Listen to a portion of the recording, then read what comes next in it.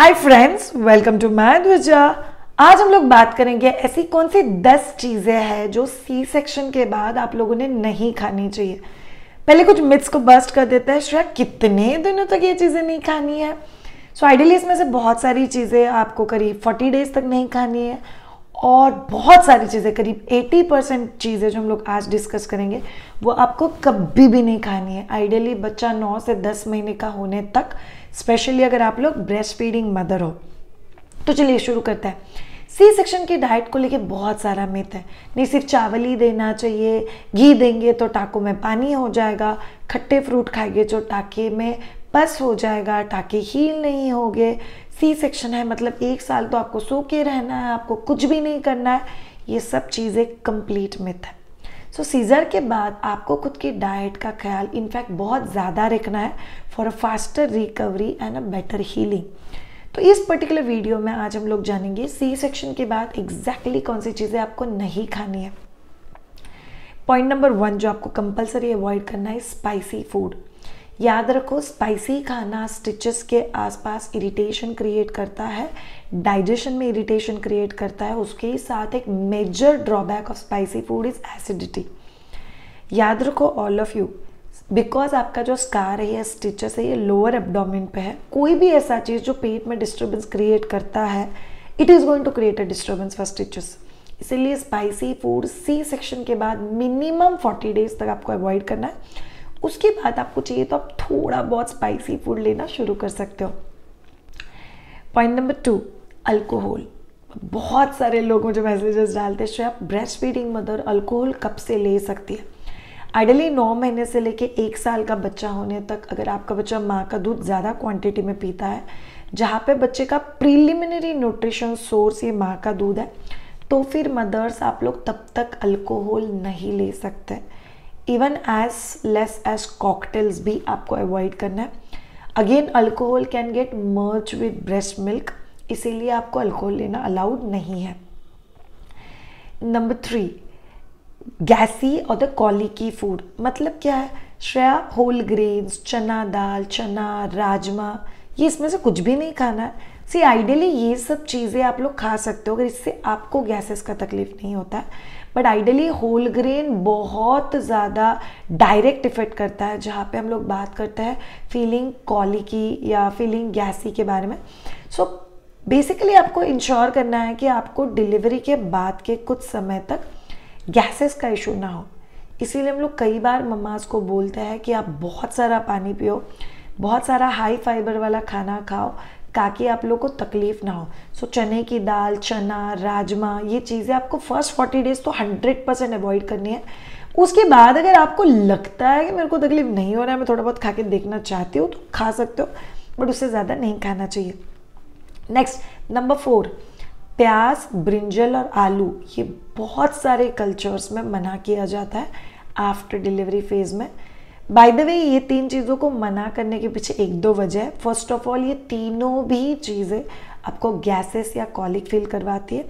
दूसरा चीज़, ये इसमें से आलू स्पेशली जो चीज़ है, वो बहुत जल्दी शुगर को शूट करता है और बहुत ज़्यादा वेट गेन में भी कंट्रीब्यूट करता है। तो सी सेक्शन के बाद बेसिकली बिकॉज़ आप लोग कुछ दिनों के लिए मूवमेंट्स रिस्ट्रिक्टेड है तो वेट गेन बहुत फास्ट हो सकता है। That's why you have to be little careful number five घी आपको अवॉइड करना है। बहुत सारे कल्चर्स में ऐसा कहा जाता है कि सी सेक्शन के बाद ना हम लोग दो महीने तक तो घी नहीं देते या बीस दिन तक तो घी नहीं देते बट उसके बाद देते हैं।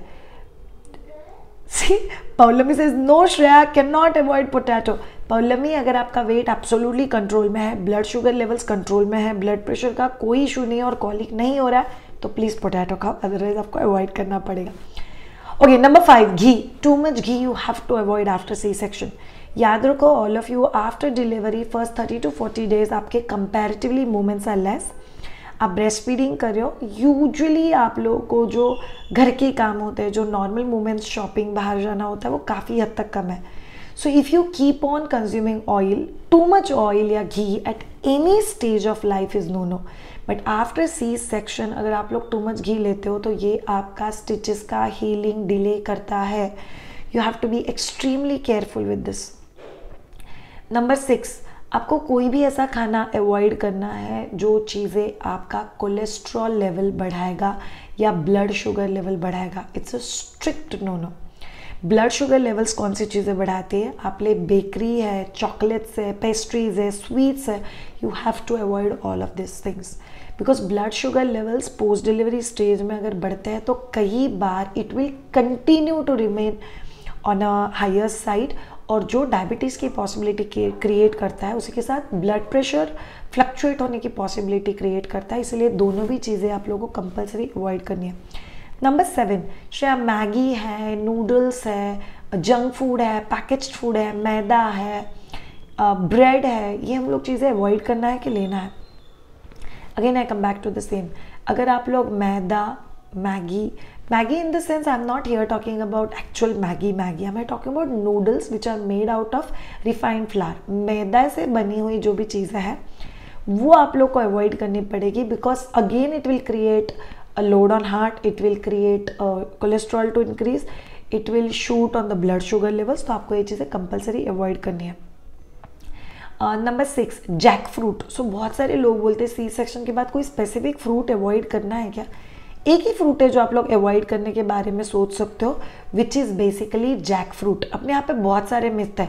बनाना मत खाओ, संतरा मत खाओ मौसमी मत खाओ, ये मत खाओ, वो मत खाओ। It's a complete myth banana post delivery phase में ब्रेस्ट फीडिंग के लिए हेल्प करता है। अगर आपका वेट कंट्रोल में है तो ज़्यादा खाओ यार। अदरवाइज़ लिमिट में खाओ। संतरा मौसम आपका ब्रेस्ट मिल्क की क्वालिटी में हेल्प करता है। जैक फ्रूट इसीलिए अवॉइड करते हैं because jackfruit is suppose to be a fruit जो आपको कॉलिकी या गैसी फील करवाता है। सो so, अगर आपको कॉलिक या गैसेस का तकलीफ़ ज़्यादा हो रहा है तो फिर आप लोग को जैक फ्रूट अवॉइड करना चाहिए। नंबर नाइन ऐसा कोई भी खाना जिससे आपको कॉन्स्टिपेशन होता है मस्ट बी अवॉइडेड याद रखो ऑल ऑफ़ यू डिलीवरी के बाद स्पेशली अगर सी सेक्शन है तो constipation is very very common because आप लोग बॉडी को पुश करना अवॉइड करते हो बिकॉज़ स्टिचेस पर प्रेशर आता है. इसीलिए नेचुरल लेग्जेटिव्स आपके डाइट में होने चाहिए, जैसे कि प्रून्स है, गुनगुना पानी विद घी है, उसी के साथ आप लोग ओट्स खा सकते हो, आप लोग फाइबर वाली चीज़ें ले सकते हो, आप लोग लीफी वेजिटेबल्स ले सकते हो एंड इट्स एक्सट्रीमली इफ़ेक्टिव इसीलिए कॉन्स्टिपेशन ना हो, इसीलिए कुछ ना कुछ लेते रहो। जब भी मैं किसी नई मदर को मिलती हूँ, जिसका अभी अभी सी सेक्शन है always tell them have pomegranate and papaya ये आपको बहुत ज़्यादा हेल्प करेगा आपके पेट की जो रिकवरी है, वो फास्ट करने के लिए।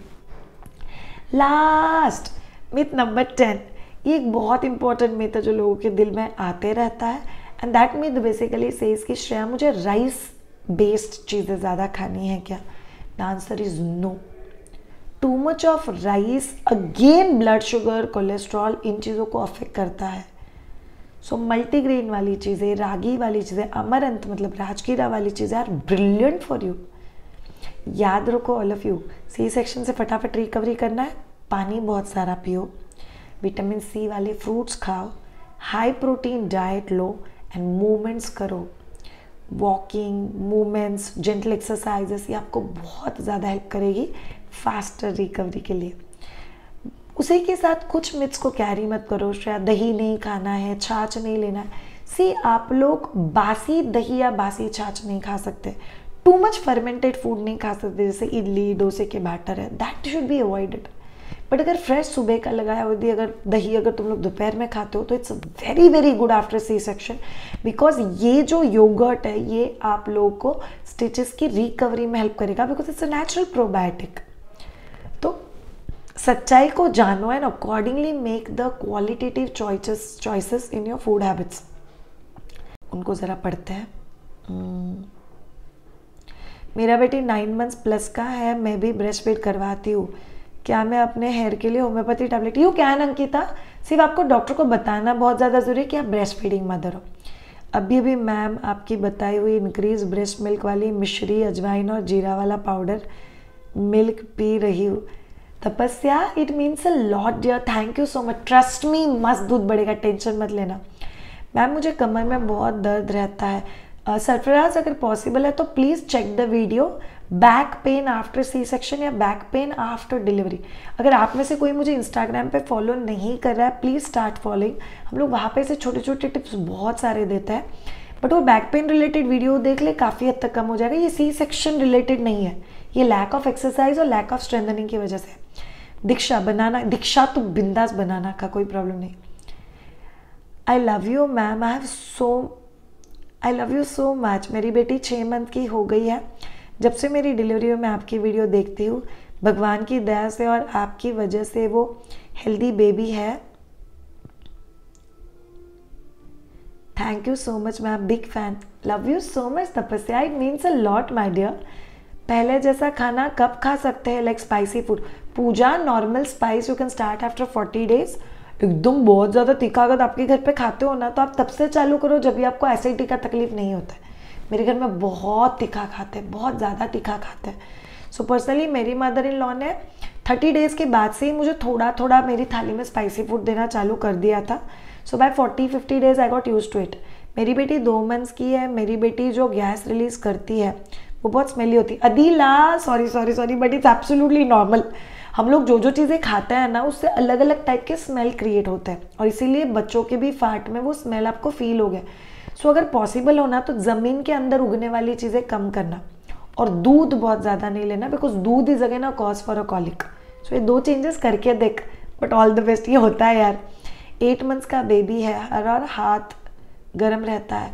We have done a video on it बच्चे का सिर गर्म क्यों होता है प्लीज़ देख ले डियर एक बार। This list is very helpful thank you so much Paulami Paulami your name is very different dear Adeela से क्या चने की दाल चने की दाल अगर गैसेस होता है तो अवॉइड कर dear Waqas Farooqui hi Shreya thank you so much for making my motherhood peace it means a lot यार, तुम लोग इतने प्यारे प्यारे सेंटेंसेस लिखोगे।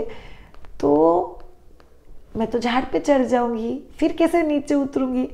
मैम मेरी बेबी मैम क्यों, Anjali you can call me Shreya. मेरी बेबी को कोल्ड है क्या, उसको बनाना? अंजलि सी, अगर आप कभी भी बनाना नहीं देते हो और कोल्ड में देते हो तो वो तकलीफ़ कर सकते हैं।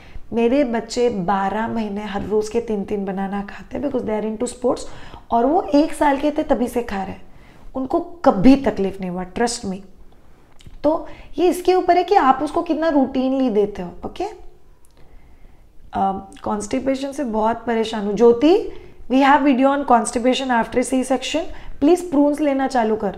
दो प्रून्स ले उसको रात में भुगा सुबह में उसको चवनप्राश की तरह बना के खा जा तेरा दो तीन दिन में इशू सॉल्व हो जाएगा।